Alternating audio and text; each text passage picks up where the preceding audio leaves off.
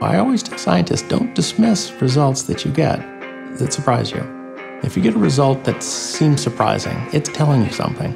Either, either the result is very different from what you expected, which is informative, or your method isn't good enough, and that's also informative.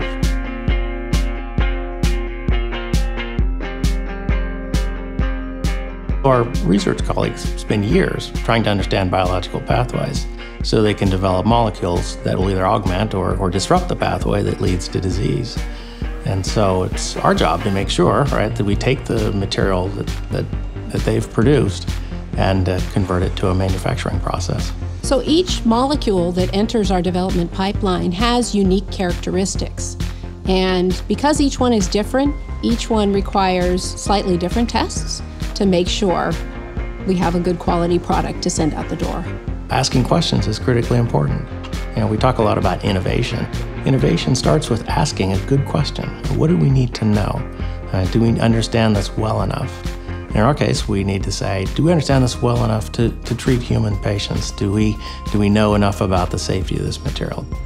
I think we do get excited when we get atypical products because it gives us the opportunity to try new things, to try new approaches, to be more innovative or creative in our method development.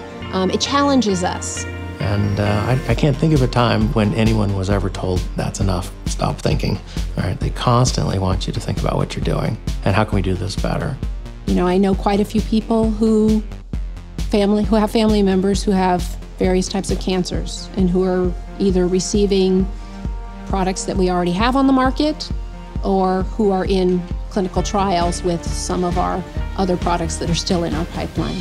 It's very motivating to hear those stories and to make those personal connections with our work. Genentech is a magical place. Not only was it the pioneering biotechnology firm, but there's just something baked into the culture here about applying science in ways that makes it possible to improve human health. It's not a business, it's, it's, it's a mission. It's a passion that people have to, to constantly come up with new and better ways of developing products so that people can benefit from them.